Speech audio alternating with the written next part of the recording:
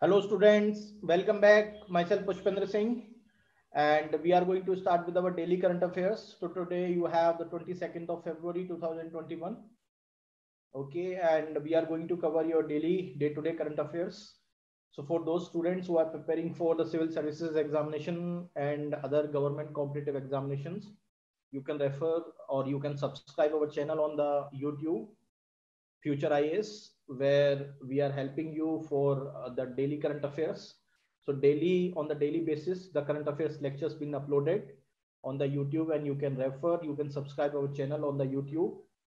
Okay. And uh, uh, for that, you also uh, reading probably the Indian national newspaper, for example, the Hindu. Okay. And Indian Express. Both of these newspapers are equally good you can refer any of these newspaper. Apart from that you can also refer or you can also subscribe our channel on the youtube for your daily current affairs. Okay so let's begin with the lecture. Okay so first is basically the news related to the carbon watch. So first of all let's have the brief introduction or let's have the brief background about the carbon. Okay so all of you know that the footprints related to the carbon emissions have been increasing day by day. It is increasing because of the climatic changes. The climatic, the climate changes right, due to mainly the anthropogenic regions. Okay, the drastic change in the climate and the environment is happening due to the due to the human regions, due to the anthropogenic regions. Now, what is happening is due to the urbanization, due to the faster pace of using of the vehicles which exhaust the greenhouse gases due to the industrialization, right? Due to other, you know, anthropogenic causes has depleted the natural resources, has, you know, this depleted the quality of the environment, right? Which has released the carbon in the atmosphere, okay? Which has increased the average temperature, okay? And which is causing basically adverse impact on not only on the human being, but also to entire environmental and to entire ecosystem. All right.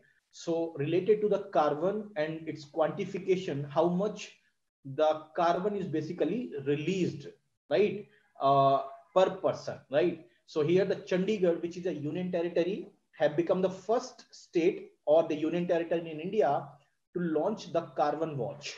The carbon watch is nothing but a mobile application. Okay. You can download it and you can basically use it for accessing your own carbon footprint okay? So for example how much you basically releases the carbon or how much you contribute the carbon right in the environment. So you can get it at right that information from such mobile application right? So it is an application to access the carbon footprint of a particular person okay? So here this app can be accessed by everyone Okay. Now, for the residents who are residing in the Chandigarh, okay, now they have to be, you know, the, you know, the participants basically in the detailed study. For example, you can download this app right through a QR code in the all sort of Android apps, which are basically we used through our, you know, the smartphones or the smart cell phones. Okay. Now, after downloading this app or after downloading this mobile app, you have to fill certain your details right? So based on that details based on your own details right? So you have to fill that correct details about yours right? For example the details would be right how much the waste you generate okay? How much the water you use and how much you waste okay? How much the energy you consume okay? If any vehicular transport or any vehicular movement that you use right? What type of movement or what type of vehicle you use okay for you are using personal vehicle or you are using the public transport or something like that right? So you need to fill the details. You need to fill that details and based on that detail okay that mobile application will tell you the carbon footprint of an individual okay? So it can it can have the quantification of that carbon that is released by one person or that is contributed by a person okay? Now as i told you that it's based on that information you feed in that mobile application okay the mobile application will tell you or will calculate you or would quantify for you the carbon footprint of individual okay so that will provide also you the information related to, right? For example, what is the world average emissions of the greenhouse gases, right? Or what is the world average emission of carbon? Or what is the national average of the emission of the carbon, right? As well as it will tell you the individual's level of emission generation. So you can basically assess how much you generate as an individual and how much you contribute as an individual to the nation's carbon footprint as well as to the international emission okay so it can be easily you know quantified and it can basically a tool so that we can uh, use that tool for better planning for better formulation of the policies and we can also make the realistic target based on that application so that we can reduce the anthropogenic footprints related to the carbon in the future. Okay. Now this mobile application which will also suggest you right how to reduce the carbon footprints. Okay. So it will suggest you the alternative ways right? You can use it. Okay. So as per the information you furnished in that mobile application it will tell you certain ways or alternate ways by which you can reduce the carbon footprint okay and based on that you know uh, based on that feeding right you will get the detailed information regarding the carbon footprint okay so this is just an pictorial representation so how much we are contributing to carbon footprint as an individual will be quantified, right? Based on that app. Okay, next, unemployment. Okay, so unemployment is, you know, a bigger problem in India, right? Uh, because due to the coronavirus, due to the, you know, economic downturn, right? The unemployment rate has increasing. The number of people, the absolute number of people who are unemployed is also increasing. Okay, if you compare the years, last two years, three years. So the employment rate is also increasing. Now what is happening is, right, a Twitter trend or the trend on the Twitter have been going on in the last few hours. Okay. The Twitter trend says that hashtag Modi Rozgar. Okay. So that is hashtag Modi, please give the employment. Okay. So that is the basically a trend which is, you know, going on on the Twitter. Okay. The hashtag is basically asking the Prime Minister Narendra Modi to provide or to give employment opportunities to the citizens, to give employment opportunities to the citizens of this country. Now, if you see just you know the basically the uh, the the information related to just covid before covid crisis okay at the end of 2019 and 20 financial year right the data which we calculate or which we quantify based on the Mahesh Vyas of Center for Monitoring Indian Economy, okay, that has been provided by the Mahesh Vyas and which has taken the data from Center for the Monitoring Indian Economy. So according to that data, we have around 403.5 million employed people in India, okay, and around 35 million people has openly unemployed, right? Openly unemployed right people in our country so roughly you can say that 403 million people are unemployed okay and we have around 35 million people are unemployed and 403 million was employed okay?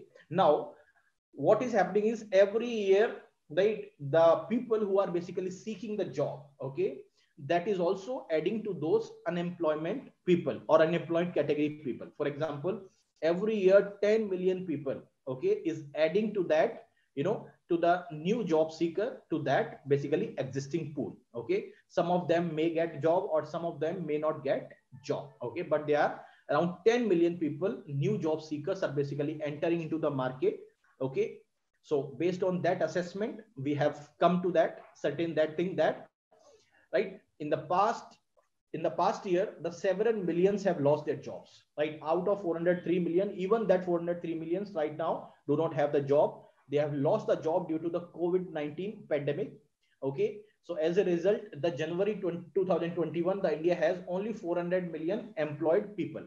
So if you compare that data with 2019-20, we had the 403 million employed people. Okay. Here, 403 million employed people in 2019-20 but if you see in 2021, January 2021, we have only right uh, 400 million you know employed people. So all all on an average, three million people have been lost their job. Okay, so based on that data, which is basically compiled since 2016, 2016 if you see the number of people which are employed in India, okay, have been steadily coming down as per the data which is compiled. So if you if you see the data from 2016-17 onward, the number of employed people was 407 million people. Okay, so 407 million people were employed in 2016-17, which has come down to 405.9 million in 2017-18 which has further come down to 400 and 400.9 million at the end of 2018 and 19. Okay, so that is the trend which the data says that. So number of employed people have been falling down steadily because of the lesser number of job opportunities in the market, right? The jobless growth is going on. And uh, because of that, the, the trend in the Twitter, hashtag Modi job do, okay? That is basically, or Modi Rozgar do is basically trending okay and in terms of the labor force participation rate if you see the data it is just 40 percent okay so that means whatever the people which is joining the job 40 percent of the mil, 20 million people who is joining the work work working age group e every year actually come forward for looking for the job so this labor force participation rate is also just lesser okay which should also be increased okay Next, the India-Maldives relations. So Maldives is basically an island nation, which is located in the Indian Ocean region, which is the India's neighbor also. Okay, the Maldives and India's, you know, uh, the bilateral relations are good enough, right? Both are the friendly countries. Okay, and uh, the India and Maldives have signed various agreements. Recently, the India and Maldives also signed the agreement on the wide range of domains. Okay, so on the wider range of the domains, the agreement have been signed. For example, the fish processing, okay, the public broadcasting, the agreement on sustainable urban development, the agreement of road infrastructure, the agreement of housing, okay.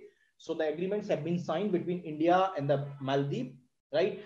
And uh, the agreement which is related to, for example, the public broadcasting, the agreement was signed in the field of broadcasting between the Prasar Bharati, which is a public broadcaster owned by the government of India, as well as the official state media of Maldives, which is known as PSM. Both have signed an agreement, right, in terms of providing the cooperation in the field of broadcasting. Okay, ultimate aim of signing this MOU intend to facilitate the collaboration and the capacity building in the field of public broadcasting. Okay, so ultimate aim of this MOU is to intend right the collaboration and the capacity building in the field of public broadcasting because public broadcaster has a greater role in terms of right information provider in terms of crucial information in terms of also in the case of emergency as well as you know creating the awareness and informing the people right and uh, dr Jaishankar, who is basically the foreign minister basically handed over the 1 lakh additional doses of covid vaccine to the Maldivian health minister, Ahmed Naseem, right? And so it will have the greater positive, uh, you know, impact on the bilateral relationship between India and the Maldives. Okay. Apart from that, India also signed the $50 million line of credit. Okay.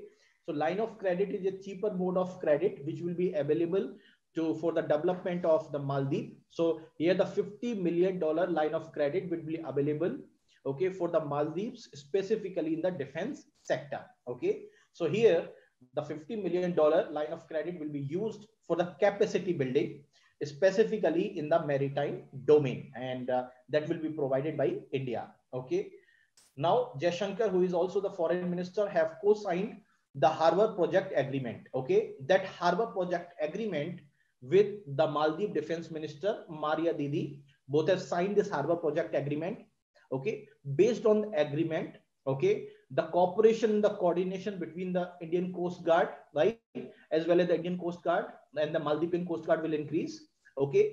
And that project will strengthen the maldivian coast guard capacity and capability right in terms of providing the disaster reliefs in the indian ocean region as well as facilitate the regional humanitarian assistance in the case of any sort of a disaster okay or in the case of any sort of you know mishaps occurs in the indian ocean region. So that will boost the capacity of and the capability of the maldivian coast guard right which will facilitate such relief and the humanitarian assistance at that point of the time okay as well as India has also extended the new line of credit of $40 million for the development of new sports infrastructure in the Maldives. Okay, so here, right, this $40 million will be used for development of the sports infrastructure, right, specifically in the Maldives region, in the Maldives region, all right. So you can see here the Maldives, which is basically, you know, uh, located in the Indian Ocean region. The Malé is the capital of the Maldives. Okay. Next, the RBI Ombudsman scheme. What is the Ombudsman? What is the what what is the role of Ombudsman? The Ombudsman basically, you know, uh, facilitate right the information related to uh, right department as well as it will also look into the complaints the complaints which are related to the particular department. So ombudsman, you can say the ombudsman would look after right the complaints which are filed by the common persons related to the particular particular department and it will also try to remove all grievances which were associated to that particular complaint okay so it will look after those complaints removal of or you know making sure that all grievances have been removed and also the investigation related machinery is also there with the ombudsman so that any sort of a you know uh, the irregularities and any sort of a corrupt practices have been brought to the book. Okay. So here the reserve bank of india has released right the annual report of the ombudsman scheme for the year 2019-20 so here the reserve bank of india right which is a banker to the government have have basically set up a three ombudsman. Okay these three ombudsmen will look after the complaints and uh, mitigation of all those grievances. Okay. So these three ombudsmen, which was basically set up by the RBI. Okay. So here one ombudsman basically looks after the banking and related problems. Another ombudsman will look after the non-banking financial companies or NBFCs. Another ombudsman will look after the complaints related to the digital transactions. Okay. So all three ombudsmen basically looking after the different different areas. One is for banking and second is basically for nbfc the third is basically for the digital transactions. Now a common man like us we can approach to those ombudsmen related to our grievances okay? And that that ombudsman will look after that grievances and will investigate and will find out the true truth behind that okay? So here right uh, as announced in the recent monetary policies, the three ombudsman scheme is basically merged, right? And it is basically, you know, integrated into the single scheme, right? That will be rolled out starting from June this year. So the previous three, you know, uh, three ombudsman scheme now have been merged into the single one, right? In terms of the monetary policy policy statement. Okay. Now, related to the report, which is basically, you know, given by the RBI related to the three ombudsmen, which was basically functional in India. So the report says that there is increase of around 65% of in the receipts of the complaints related to, right, uh, you know, certain issues related to the banking, NBFCs and digital transactions. And the report says that, right, report says that out of 100%, 92% of such complaints have been disposed of. So 92% of such complaints have been completely disposed of. Okay. The banking ombudsman, which look after the issues related to the banking, okay, received the major complaints, which is related to the ATM, debit cards, right?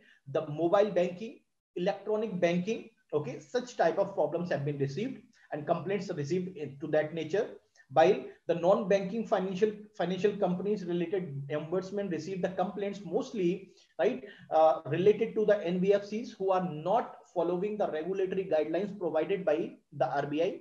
Okay, the complaints related to the transparency issues, the complaint related to the lack of transparency issues in terms of the loan, in terms of you know charges, and the reports also you know uh, or the complaints also uh, you know say something about that the NBFC started charging without the prior notice. Okay, so such complaints received by the ombudsman and 92% of the such complaints have been disposed of.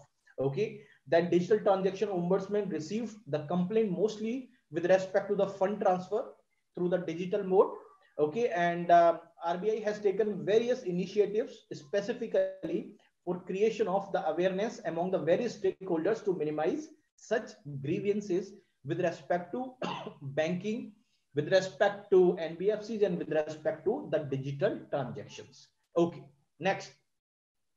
The Lakshmi Vilas Palace. So first of all, you must understand the Lakshmi Vilas Palace is located in the Vadodara, Gujarat. Okay. Now this palace have, you know, the heritage structure or this palace is basically a heritage structure.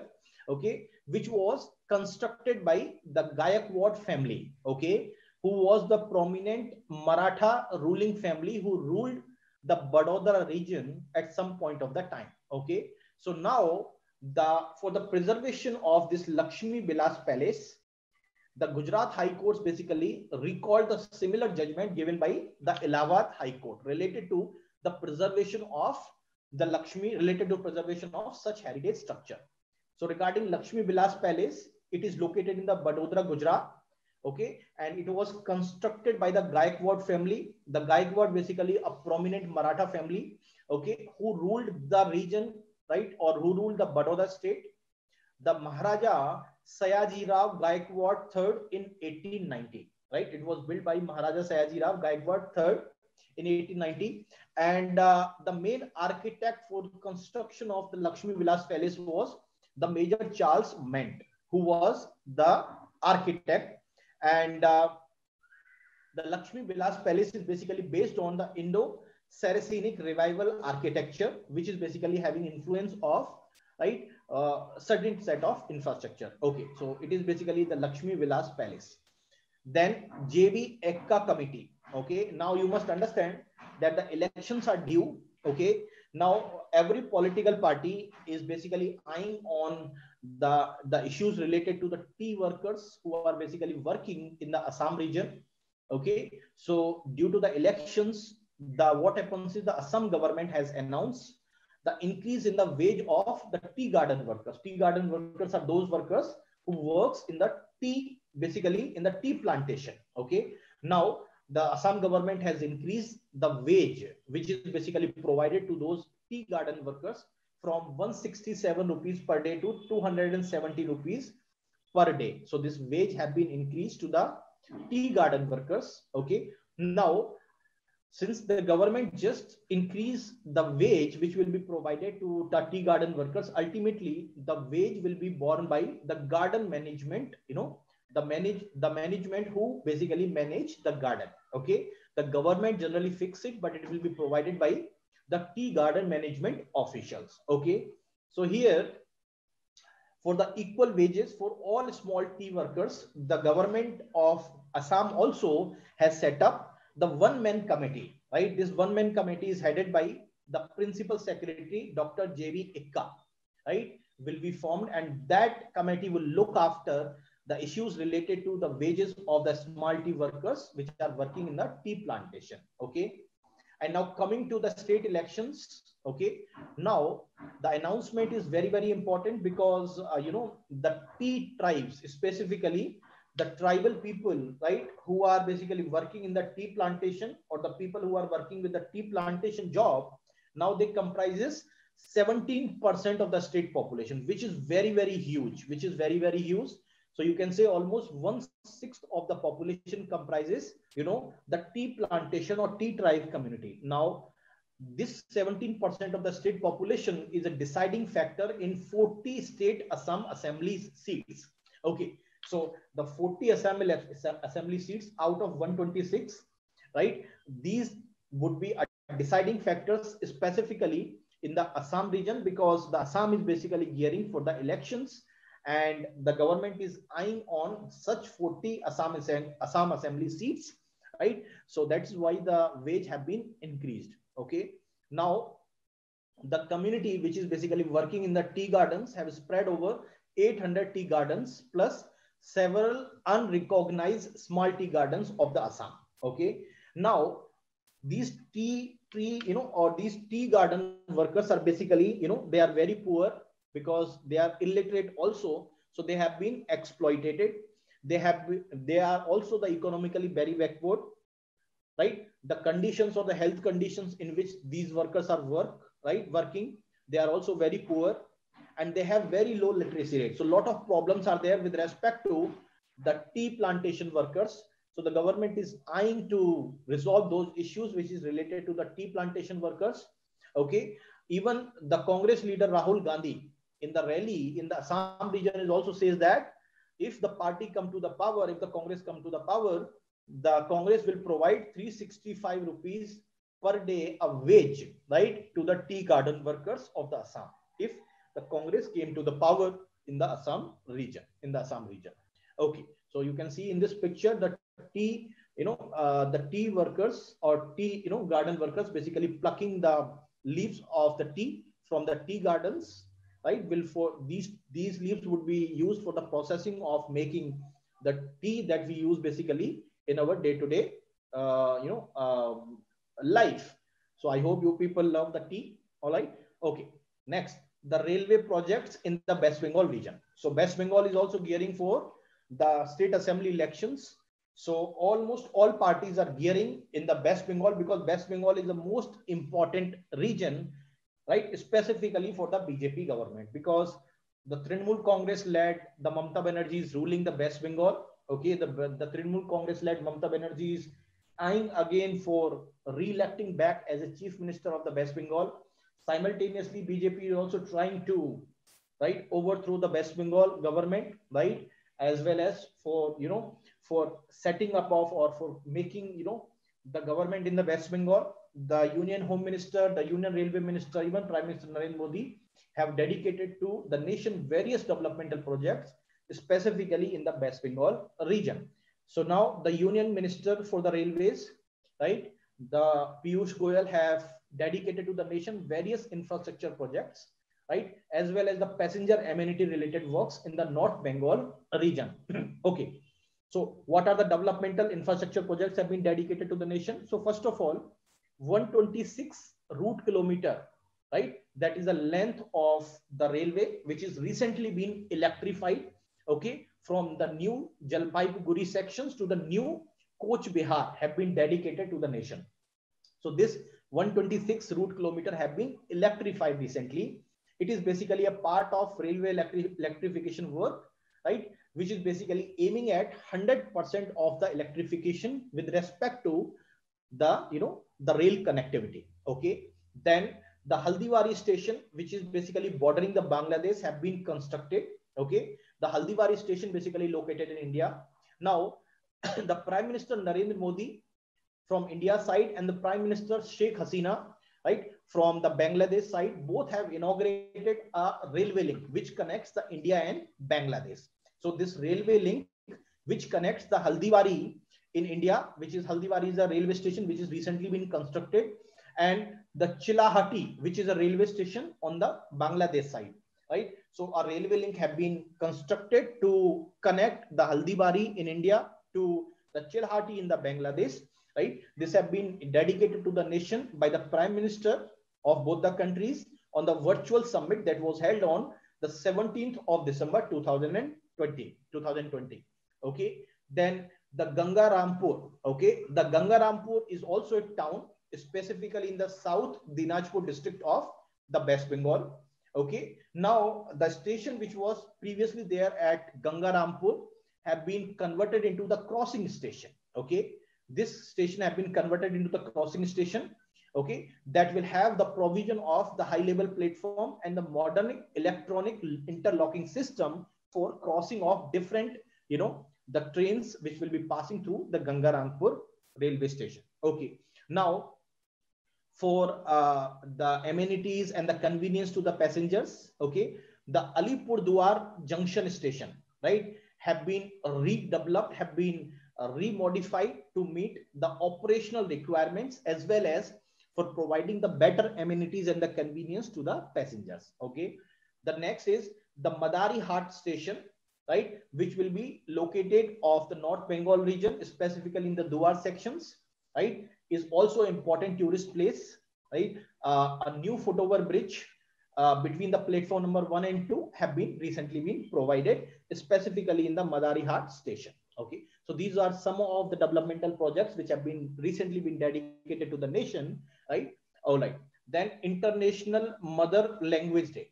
So first of all, International Mother Language Day is celebrated by the UNESCO every year since 2000 since 2000 okay it was celebrated every year on 21st of february since the year 2000 recently the recently the vice president venkaiah naidu celebrated the international mother language day. Okay so what is that international mother language day?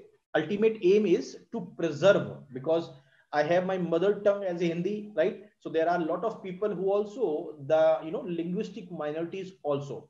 So they have their own mother tongues right? Except right also along with that those uh, languages which are recognized by the constitution right? In the eighth schedule there are a lot of people who are you know the minority or the linguistic minority they have their own mother tongue right this international mother day is basically for those people who are the linguistic minority and who are also majority to preserve and promote the linguistic diversity in the country. So obviously to preserve the linguistic diversity as well as right the educational avenue will be promoted the mother tongue based right? So ultimate aim is to promote the educational opportunities and educational avenues in the multilingual right uh, you know the mother tongue based okay now uh, this declaration which is came to the tribute to the language movement okay specifically you know in the bangladesh region because the bangladesh uh, or the liberation of the bangladesh which was uh, which was basically in the 1971, which was also known as the East Pakistan on that period of the time.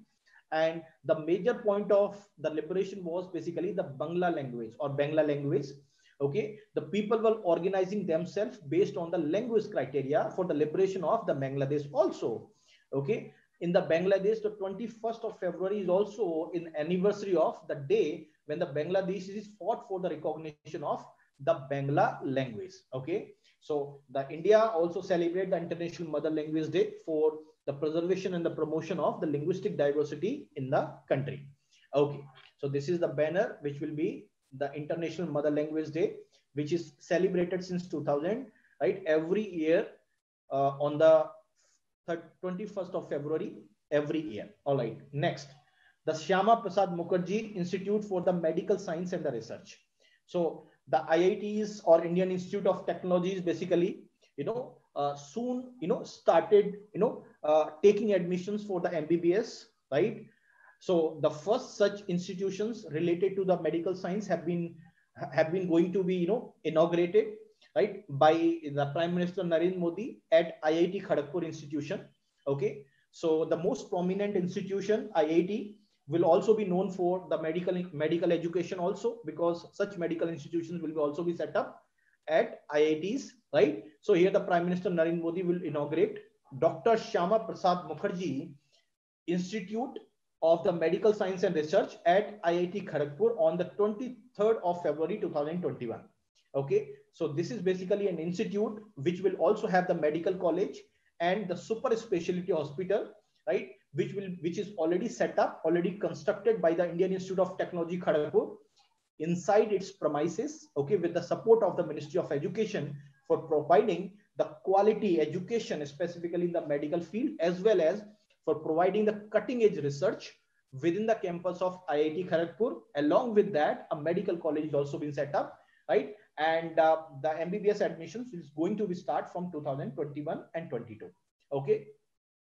The hospital will focus on robust biomedical, clinical, and the transnational translational research and development of the remote diagnostics, telemedicine, right? Teleradiology, along with the research in the drug design and the delivery. Okay, so the cutting edge research. Okay, because IITs are known for you know the premier educational institutions in the engineering.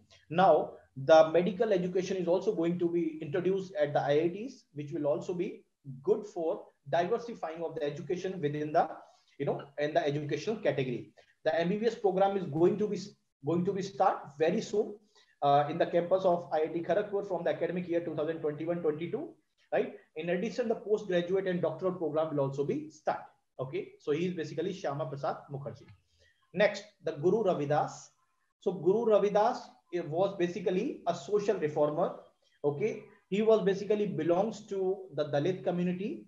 So he was associated with the Bhakti movement, which was started. Okay.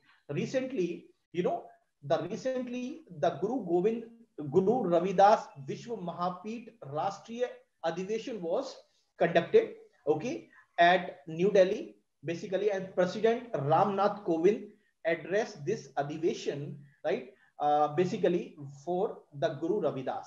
So the President Ramnath Kovind in this Adhiveshan says that the India's constitutional values of the social justice, freedom, equality, and the fraternity, right, which is basically enshrined in the preamble as well as in our constitution, right, are in the line of the Guru Ravidas philosophy, right? So the President Ramnath Kovind has has you know uh, has basically broadened or has basically you know counted the contribution given right from you know the Guru Ravidas philosophy, which are ultimately incorporated in the preamble and the constitution of India with respect to the social justice, freedom, equality, and fraternity. So the Guru Ravidas was a Dalit poet.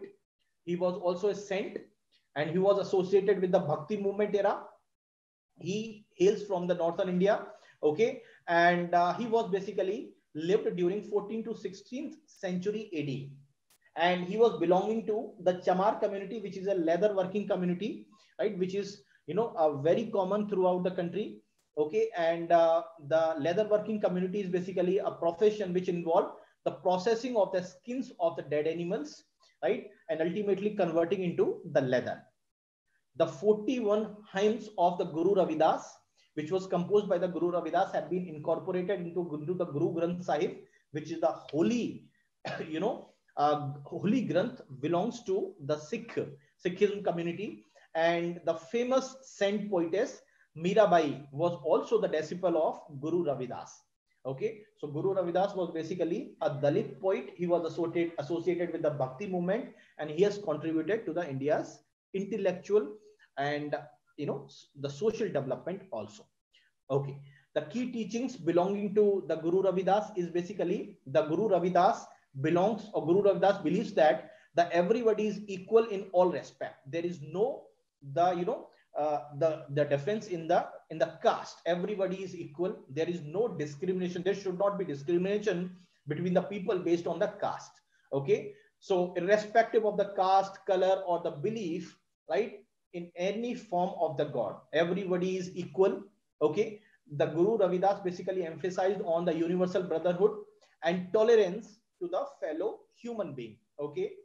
Now, the Guru Ravidas also believed that the God who created the man and not the reverse. The man has not created the, the God, but it is the God who created the man. Okay. And uh, the Guru Ravidas also abandoned the Shaguna. Shaguna means something which is attributed, something which is related to, you know, some form of the supreme being. So it says that, or Guru Ravidas says that right? The Nirguna form of the Bhakti movement, right? Nirguna form of Bhakti movement, which means without associating any attributes. That means you are not attributing or you are not associating any attributes, right? Or the abstract form of the worship, which was basically, you know, promoted by the Guru Ravidas, right? For a, for a supreme form of the, the supreme being. Okay. So the Guru Ravidas was basically, you know, have given the greatest contribution to the intellectual and social development of the India. All right. So he is basically the Guru Ravidas. Okay. So thank you very much for attending this class. We will meet again tomorrow for our next current affairs. So till then, thank you very much for attending for those who attended this class. Thank you.